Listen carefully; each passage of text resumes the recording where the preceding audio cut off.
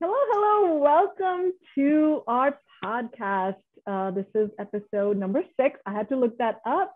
I am Deepika, founder of patternreview.com, and you'll notice that today I'm in a different room, different setting, and I have a lovely guest here with me. I am really excited about today's episode because today I'm switching gears and I'm going to be the one asking questions. Um, usually you send me questions and I'm happy to answer them, but um, it's always nice to switch things up a little bit and I will introduce our guests in a minute. So um, thank you for watching and thank you for following me in this new journey of um, YouTube podcasting. So let's get started. Um, I am sitting here in my pattern review office, which I will probably give you a tour of at some point. But today we have with us Carolyn Denham. And if you don't know about Carolyn, she is the co-owner of Merchant and Mill, uh, Merchant and Mill Fabrics and Pattern Company coming to us from Rye, UK. Um, I'll give you a brief intro. Carolyn Denham and Roderick Field began Merchant and Mill in 2010 with the intention of bringing style and purpose to the overlooked world of sewing. Carolyn has a degree in fashion design and has worked in New York, Italy, and London. Roderick Field is a respected photographer with works in the National Portrait Gallery. Their ethos is to respect the roots of sewing, from trade to home dressmaking as they enable and inspire more people to find the satisfaction of simply making.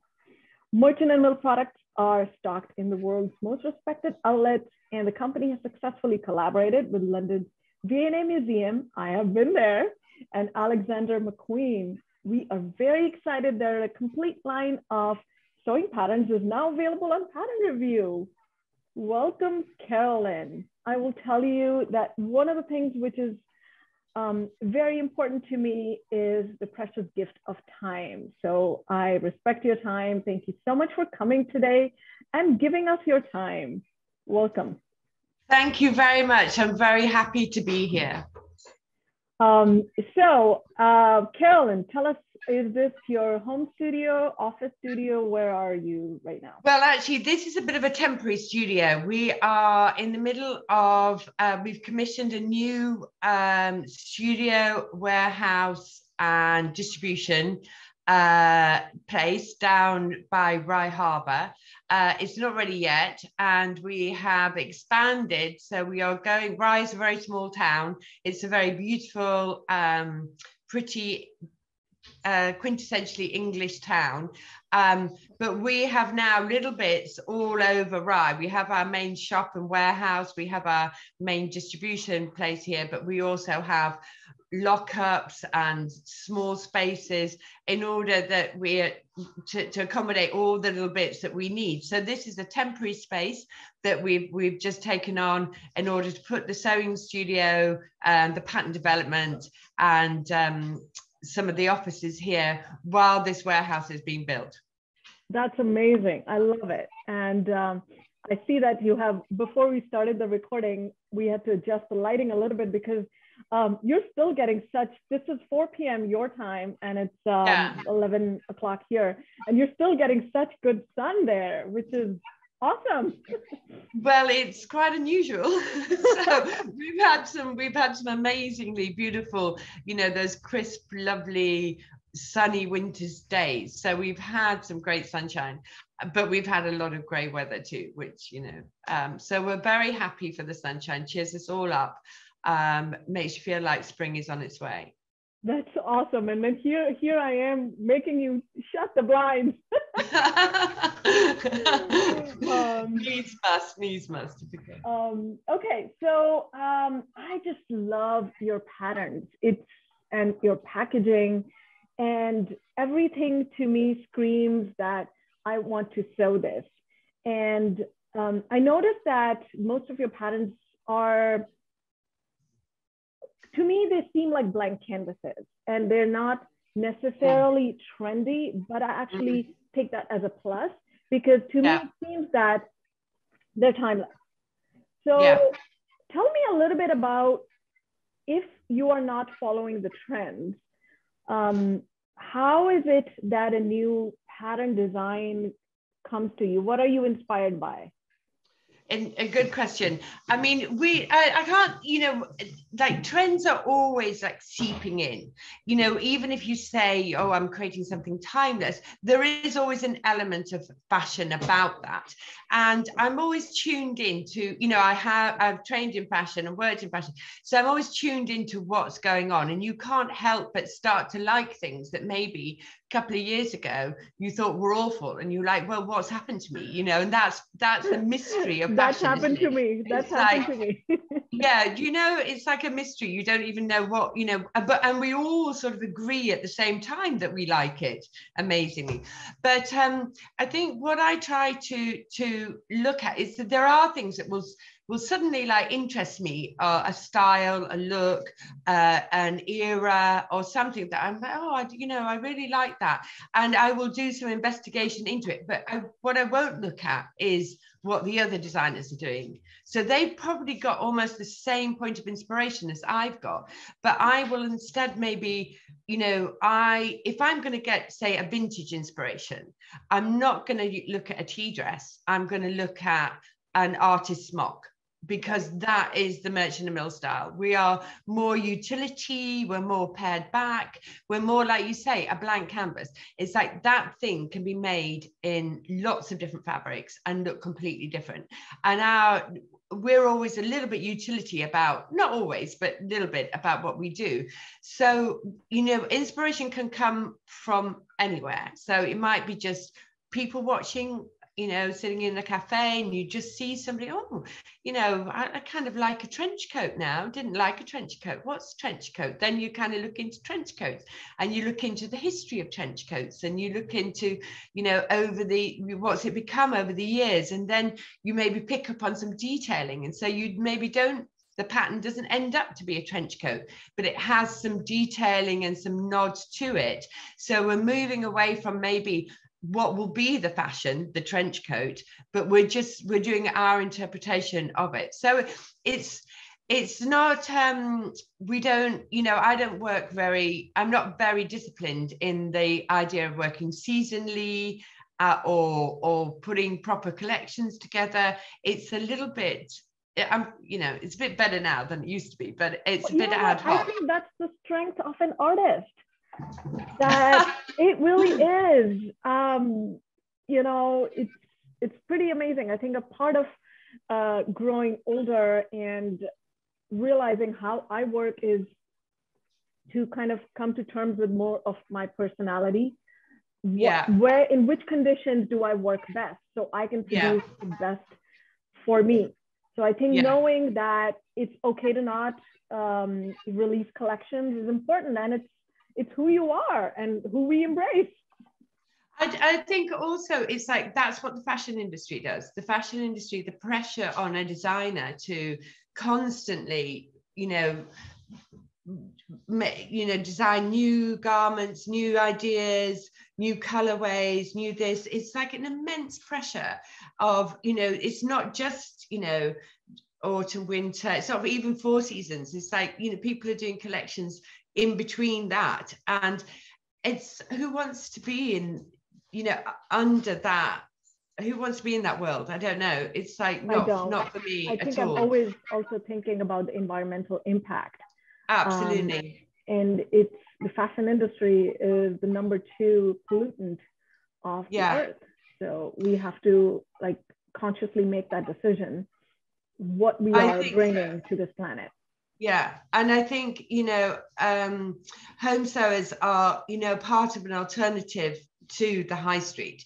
They have found another way of creating their their wardrobe, their clothes, and it's not being part of that huge industry that will and and will definitely change. We will see radical change in the na- next few years no doubt. But you know as a as a you know as a seamstress you can you're you're already making those changes. You're already making those choices not to join that that that band that high mm-hmm. street that constant more, more, more. Newness, more new and shiny. Yeah, yeah, absolutely. I have to share a story with you. Um, so my daughter is an artist. She likes to paint and I like to sew and knit. Um, apparently she's only 11. And so she tells me that she wants a bucket hat. And oh, here I am um, uploading your patterns and pattern review, and I come across this bucket hat. Wait a minute, we could do this. And why don't I make it in canvas? I'll cut out the pieces in canvas, and then you can paint it, and then I can sew it together. She loves this idea. And I'm thinking that um, this is such a great way to collaborate with mm. my daughter using one of your yeah. patterns. So I'm looking Fantastic. forward that small but meaningful project um, Fantastic. which kind of combines both our love of creating and um, and this kind of uh, made me think of looking at your patterns a little bit more because part of some of the sewing which I do is I don't know if you're familiar with her work, Natalie Chanin. She does yeah reverse yeah, applique. So I'm actually wearing the yeah. shirt which uh, using a yeah, pattern which my friend created. I feel like a lot of your patterns will probably appear appeal to people who do surface design. They add their own touch yeah. to, yeah. using simpler fabrics, but adding yeah. their own personality to it. Yeah, I think you know that's you know the whole the advantage of the whole sewing world is like it's you know what your personality is and you can you can transfer that onto your garment with your color choices anything the fit the color choices the styling everything it's yours and the more skilled you get the more you can add your own personality and once you find the patterns that work for you you know that's it that's that box ticked it's like there you go you know you'd love to wear that you can make it you can embellish it you can make it up in all kinds of fabrics. It's it's there as your kind of uniform for for however however long that one will last. Absolutely. So I'm going to kind of this question is sort of like asking you to pick between your children, but do you have uh, which of your merchant and mill patterns is your favorite or something you've made multiple times? Well, that's a hard one because I would say I probably made the most of the trapeze because I've made that in everything from vintage grosgrain to fine linen to Harris tweed. It's been in every fabric, you know. Really? So wow. So quick and easy to make. Um, but probably now I'm wearing mostly the Ellis so I've got a lot of Ellis dresses. And again, I'm wearing one now and it's in a very crispy um, Italian overstock fabric. So it's got a quite a billows feel, quite sculptural. Um, no, it's um, it's a synthetic. It's an overstock that we bought okay. from an Italian mill. Um, but I have them last year. I made one in a white linen, and literally it was you know on all day, uh, in the wash on in the wash it, i just could i just thought it was the best thing to wear. Uh, every time i tried to wear something else i ended up putting that back on. So yeah i've got loads of those. I've got denim and some japanese waffle fabric all kinds of things. And again it you know it looks completely different in all these different fabrics. So that's my current favorite. Um, i have a lot of fielder dresses as well. I seem to have made a lot of fielder. Again i think it's so comfortable so easy to wear. You can you know put it on with a pair of sandals or a pair of boots you know and these things are still in my wardrobe so the trapeze pattern is now 12 years old and I still have the trapeze in my wardrobe. The fielder is probably eight years old.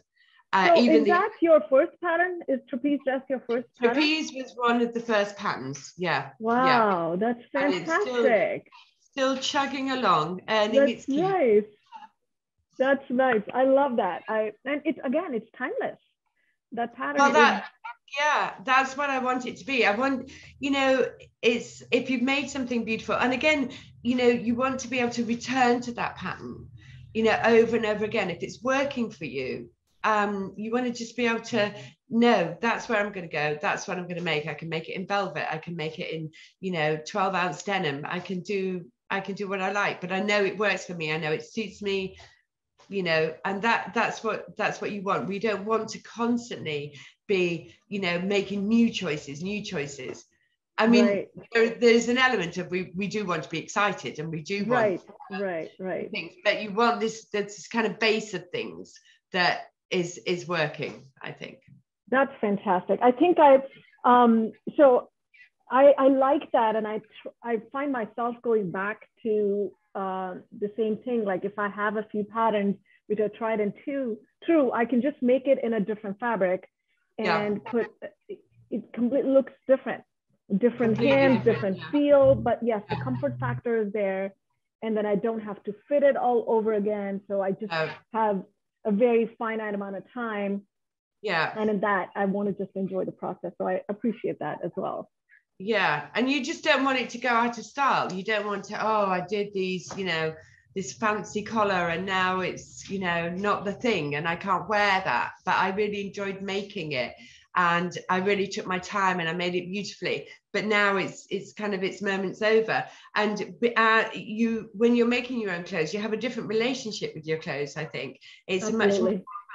a, a personal journey and you know that that garment inside out every stitch is yours so you don't want to give it up so easily absolutely. And if you've made um you know once i so i started pattern review 20 years ago and once i knew that okay this is sticking. I really really like sewing. I just um stopped sewing with cheaper fabrics. I just and i don't like the feel of polyester on my body anyway. No. so I've always um, kind of gravitated towards more natural fibers and Yeah. and yeah. they just last longer and they look and feel better more and more you wash them. I still have a a linen Burda pattern shirt, linen shirt uh, made up from a Burda pattern. Princess seams, there's nothing old fashioned or new, trendy about it. It's a button down shirt, which fits me now even. And it's, I, there's no reason to give that up. No, absolutely. And you know, my my mum who taught me to sew, who was a great seamstress, she always said buy the, the most expensive fabric you can afford. Because um, if you're gonna put, you know, sewing is, you know, not about saving money. It's it's if you're gonna put all that effort into making something beautifully and you're gonna make it much better than than most of what's available on the high street, then you know treat you know be kind to yourself. Make make it out of the best fabric you can you can afford. And you know we all have a budget to work with but Right. it, it will be better. It will be better if it's in a beautiful fabric. And obviously we're all about natural fibers. So you know we're also thinking about you know our carbon footprint about sustainability. So that's really important to us.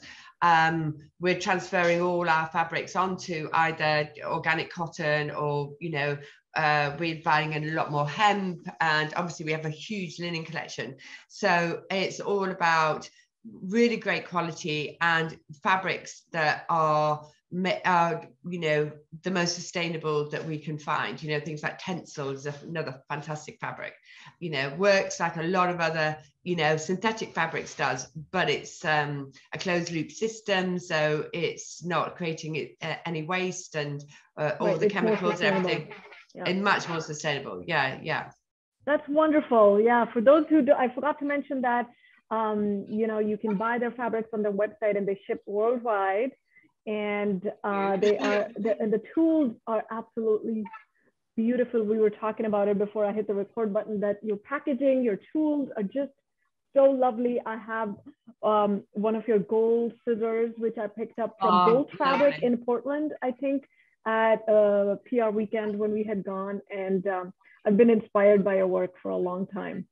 thank So you it's- it's- thank They're you just they're just beautiful. I mean, I feel like having those um, those good tools is so important for any activity. I have like really nice pots and pans in my kitchen. I just like working with good tools.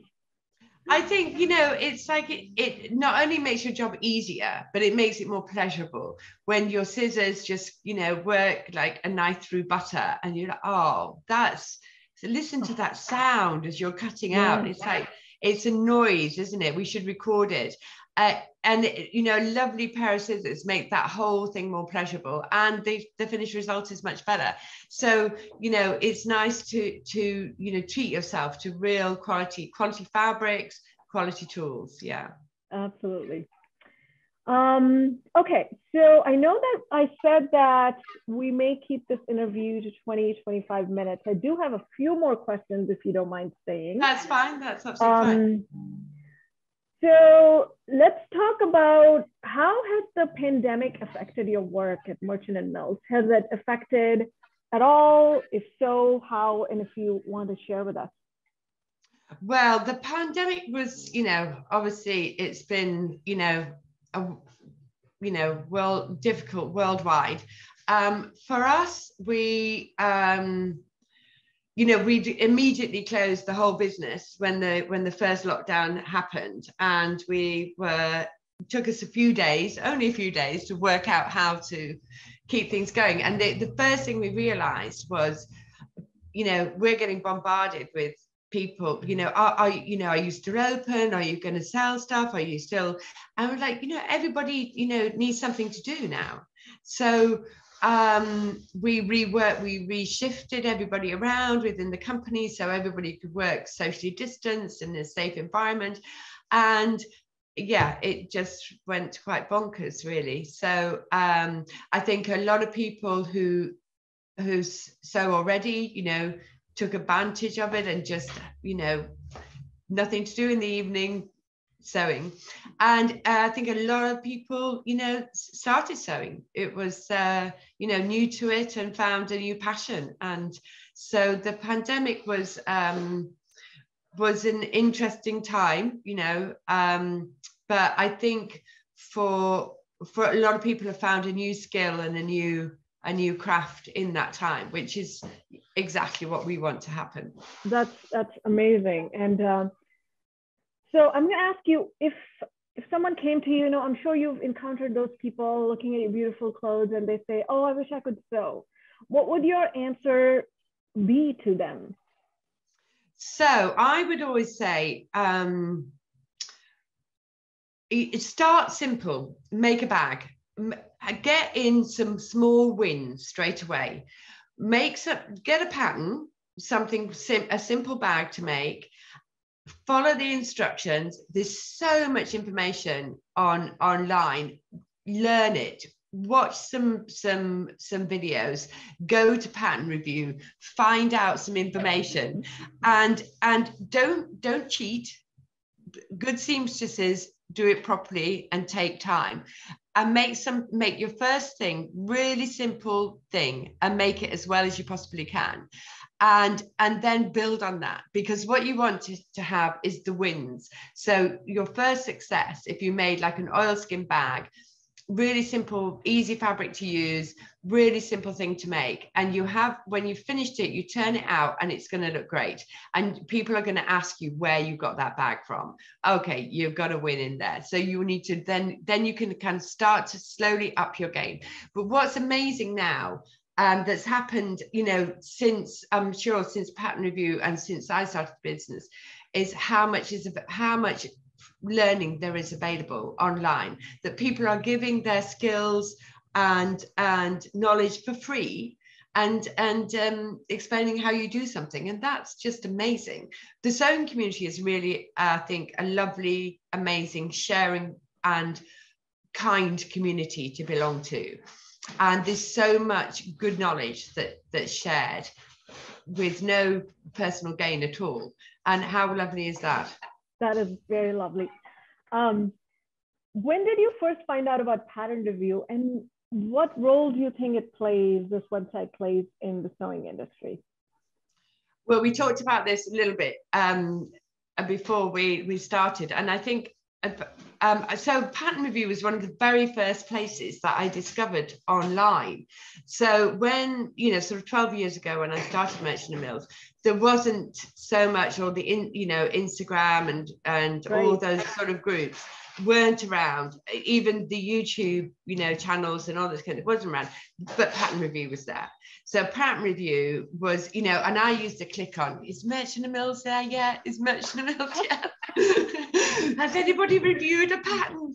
And um, but I think it, it's an amazing uh, resource for you know we were talking about before how when you when you you buy a pattern and you you know well this is what it looks like this is what they're advising me to do these are what the photographs look like but you go into pattern review you can look at that pattern and you can get you know what other people think about it and you'll get lots of tips and advice of you know maybe you know you know make it bigger here or it was a bit you know small here or or what whatever it might be. But this this kind of all this knowledge about this one pattern before you've even started and we were talking before about the disappointment of making yes, the disappointment. all that time and effort and you're like i don't like it. It's not what i thought. It's you know i wish i'd just you know, put in that different sleeve or change the neckline.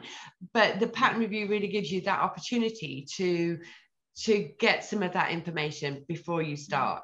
And um, yeah, I'm sure, you know, people use it all the time before they even start making anything. And just you know, look at what's popular, look what people are loving. I think so. And I, I for me, like I know you we talked about it earlier is that the reason I started pattern review was a very selfish one because I didn't have any friends who sewed, and I just needed to um, feel excited and talk about these patterns, which uh, don't look like that on me when I wear them. What is going on here? And I think to be able to find that community and create that community of people who are just making things, you know, one of the things I'm very passionate about is like sewing for the present showing for mm. what I am today and yeah. feeling more confident as I step out the door. Yeah. And being inspired by all of the wonderful things people are creating and sharing. And yeah. absolutely right about the kindness and the fact that people actually want other people to learn and to sew. Yeah. Yeah. Pretty, yeah, amazing. I think that I think the whole community think thinks that and i think you know it's such an inclusive community.